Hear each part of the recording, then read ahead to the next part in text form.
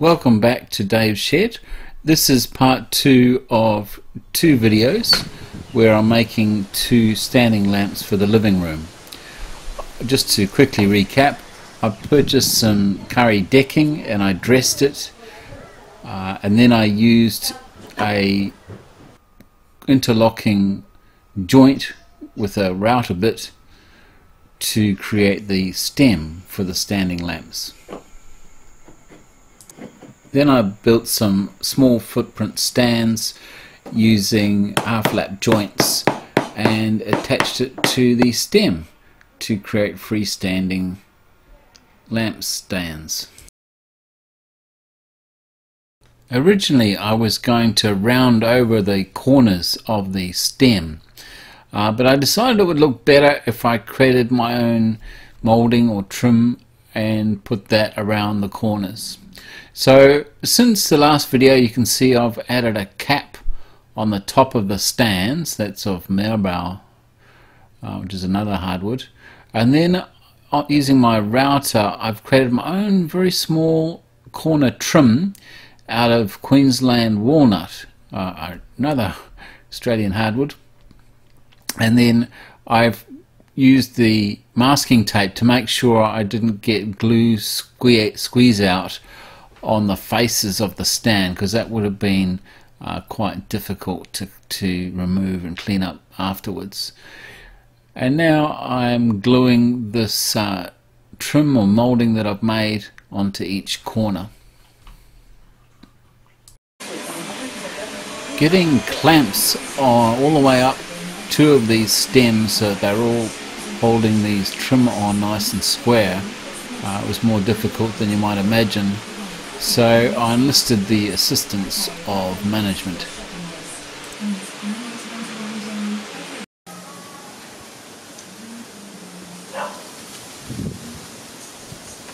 Once the glue set and I cleaned all that up uh, I then applied several coats of shellac to both of the lampstands and at the same time my wife embossed these aluminium sheets uh, into triangles uh, and I cut out and then she, she backed each one with this silicon backing so that they uh, keep their shape.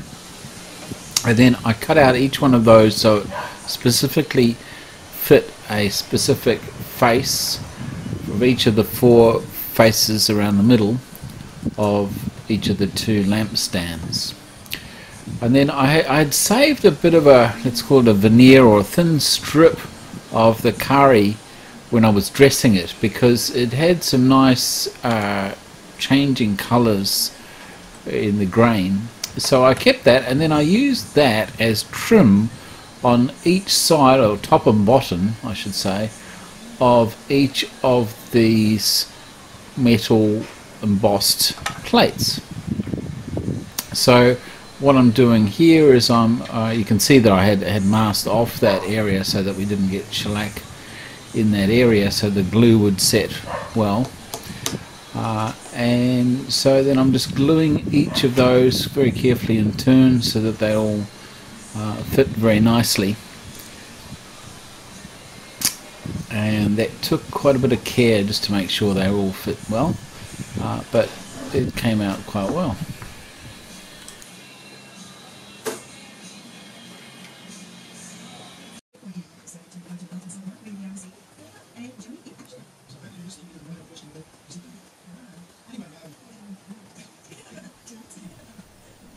I drilled a small hole at the base of each of the lampstands for uh, the wire to enter and then I wired those up.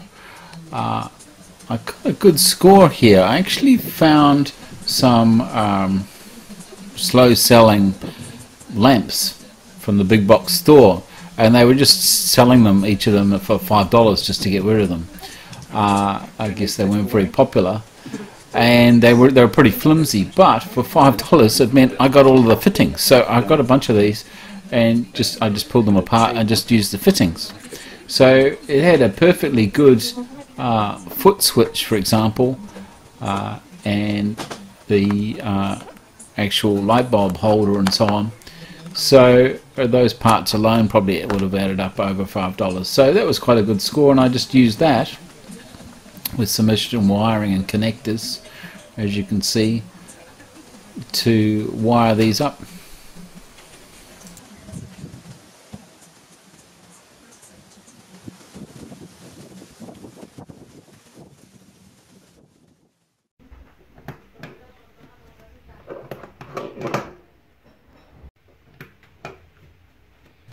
Please remember to like and subscribe because that encourages me to make more content for you.